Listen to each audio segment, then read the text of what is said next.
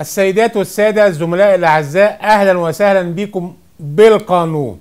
هنتكلم في موضوع الشيكات.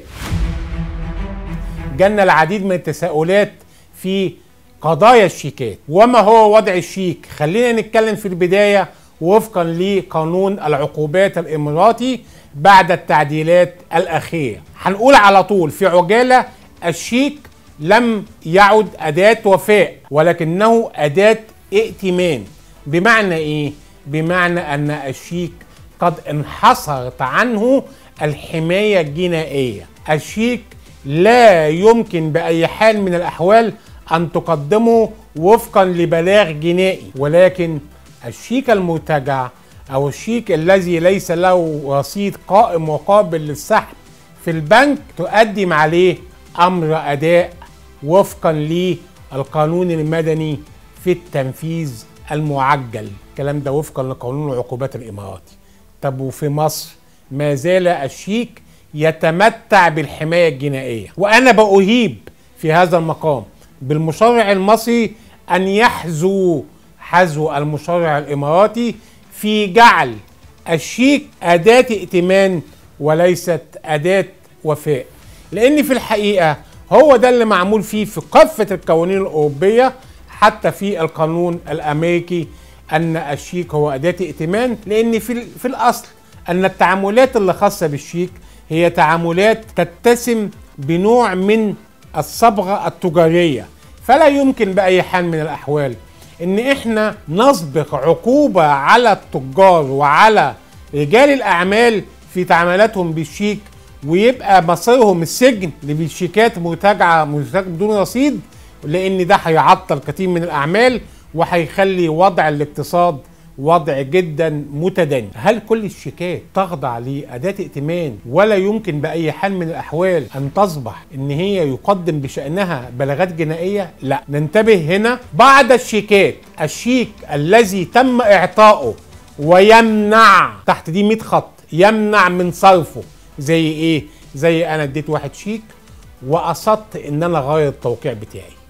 أو اديت واحد شيك على حساب مغلق. وأنا أعلم إن هذا الحساب مغلق. في هذه الحالة في هذه الحالة يصبح الشيك في جريمة جنائية. ليه بقى؟ لأن أنا تعمدت إن أعطي شيك وأن أعلم بأن مسبقا بأن هذا الحساب مغلق. أنا تعمدت إن أعطي شيك وأنا أعلم بأن أنا حطيت توقيع مختلف عن توقيعي اللي موجود في البنك. هذا هو المبدأ الذي استند عليه قانون العقوبات الإماراتي في أن الشيك الذي يعطى ويمنع من صرفه تشكل جريمة وتحال إلى النيابة العامة ومنها إلى المحكمة الجزائية ومنها سيصبغ عليه حكم في ممكن حبس وممكن أن يشتمل هذا الحكم بإبعاد وأن يسدد مبلغ الشيك وما يمثله من قيمة هذا الشيك. فناخد بالنا كويس قوي بإن إذا كان هناك حساب مغلق لا يمكن أن نستخدم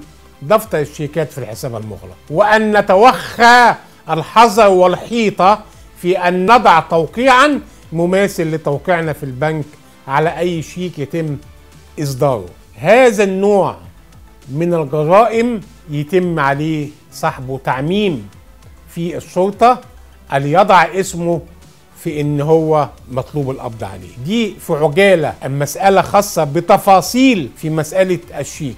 في الجانب المصري وفقا لقانون العقوبات المصري ما زال الشيك له جناحين زي ما إحنا فاهمين كمحامين اللي هو إما إن أنا أسجل فيه بلاغ في اسم الشرطة أو إن أنا أعمل بيه جنحة مباشرة. وفي الحالتين بيبقى الشيك واخد نفس الحماية الجنائية ولم يحصل أي تعديل عليه حتى الآن في قانون العقوبات المصري ولكن التعديل حصل مؤخرا في قانون العقوبات الإماراتي. ونقدر نقول بحق بأن هذا التعديل الحادث في المشرع الإماراتي حصل نوع من الانفراجة عند رجال الأعمال في مستوى التجارة والتعاملات التجارية اللي تمت لأن إيه اللي حصل؟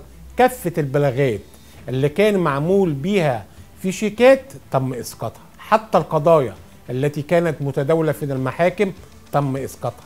حتى القضايا التي كان يتم التحقيق فيها في النيابة العامة تم إسقاطها وفقا لهذا التعديل. فحصلت نوع من الانفراجة وحصل نوع من التعاملات المادية في كل مكان. وفعلا كان المشرع الإماراتي حصيف حينما لجأ لمثل هذا التعديل وأتمنى أن الكلام دوت يحصل في مصر وهنتكلم في موضوعات تانية خاصة في الشيك وتفاصيل دقيقة جدا ممكن في بعض الزملاء حتى يقعوا فيها.